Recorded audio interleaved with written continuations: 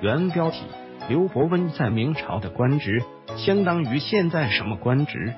过去中国历史中从来不缺谋士，水平高低虽然各有不同，但从来不乏那些顶尖人才，懂得筹谋天下，又深谙人情世故，个个都有了不起的本事。但是，只有少数人可以像刘伯温这样，后人愿意不断传颂。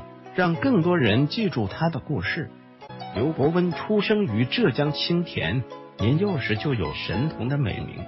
当同龄儿童抱着书本不知所措时，刘伯温只需要拿来默读两遍，就能当众背诵，而且还可以向大家解释其中的含义。像刘伯温这样的学生，自然最受老师喜欢。作为神童，也不是没有坏处。很多神童容易沉溺于过去的声誉中，最后泯然众人。可是刘伯温不同，他即使顶着神童的名声，依然努力学习诸子百家、天文地理、兵法算术，寻常人一门精通便已经了不得，刘伯温却样样精通。这也证明他的天赋之外，依然愿意下很多。苦功夫学习，这些学